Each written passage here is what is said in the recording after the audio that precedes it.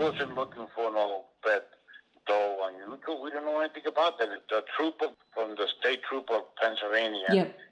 reached out to my son and told him that his DNA matched a person that was murdered in Carbon County. The state trooper came to my house and they interviewed me, and I, I, I gave them the description of Evelyn, what she had in her body, and they and the first thing that he said was, "Wow, that's Evelyn," because I gave them the description that about the scar on the leg and about the moles in the face and about her tooth in the mouth that she was having problems. And I told them she was white, light skinned, she was white with hazel eyes. I just want to thank uh, the state troopers, uh, you know, for doing a good job. Who's been reaching out to me, you know, about this case, which you know it's helping out, you know. But it, like I said, this all started with my son, and he said, "You know what, Dad? I want to keep the DNA to see if, if I could if I could find Evelyn, and for his his DNA to match her perfectly." I said, "Wow, this is incredible." I want people to know that she was a nice young lady. Uh, never bothered anybody. She was always a mama's girl, you know, and she loved her family. But then, you know, things changed when she found out. The, the last time we saw her, me, my mother, my sister, I was 17 years old and she was 15. It was in Jersey City and Second Street. You know, the boyfriend and her came by to visit us to explain that he had already found an apartment, you know, that he wanted to live with her. And, you know, she was already pregnant, you know, like going nine months pregnancy. Uh, you know, so she wanted to have my parents give her the okay to move with the guy because she loved him. You know how it is that she in love they got together. The last thing uh, that she was telling my mother was that if she could make some hot soup, some Spanish soup, you know, to bring it to her at uh, the apartment. You know, uh, so a few days later, we, you know, we ended up going over there to visit them to the soup, and all of a sudden, this lady come out and says, uh, "Who you looking for?" And you know, and you know, my father said, "I'm looking for my daughter Evelyn," and then said, "Oh no, they they moved out." So we thought that you know they just wanted to move out, you know, and you know be private.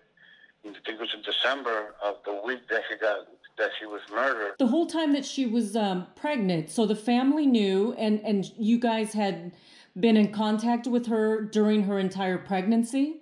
Yeah, she Okay. used to live with us. She didn't live with us every day. She used to stay with him sometimes. Boyfriend, he was our next door neighbor. You know, that's how she met him.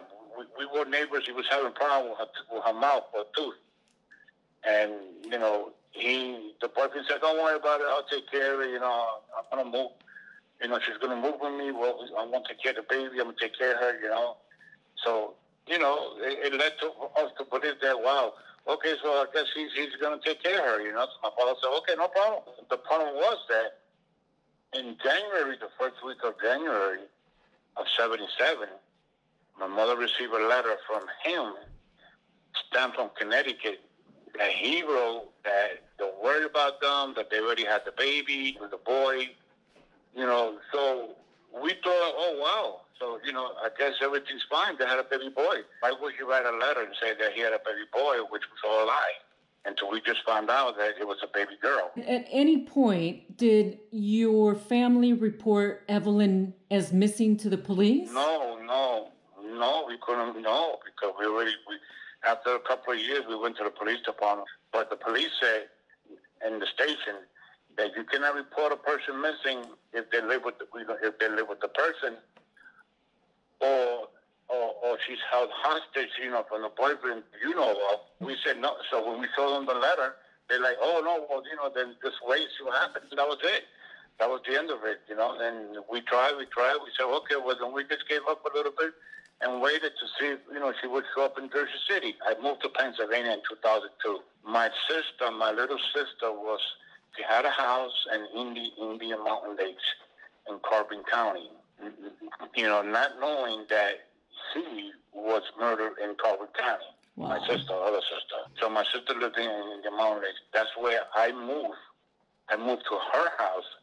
I was living there. and we never knew that we were close to the cemetery.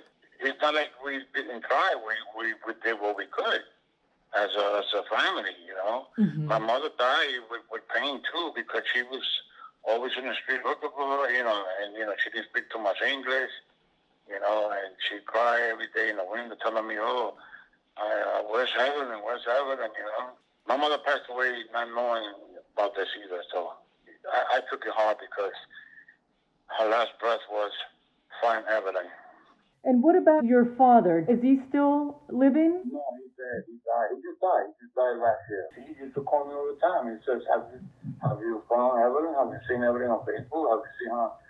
I said, "Dad, I went all over freaking Facebook and internet. When I saw this on on the YouTube Beth Doe, I'm like, wait a minute, December 20. I said, but that was the month that she moved in with the guy. And then it clicked to me about the letter that a, a week later, two weeks later, he wrote the letter saying that they had a baby boy, and it was all lies. So now I knew it was him. But I want to look at his eyes and ask him why. That's what I want to ask is why. You know, the baby. I, you know, that, that that's another thing. The baby. Yeah. You know, that was his baby. You know, what what led to this? That's what I'm. You know, want to tell him why. Why?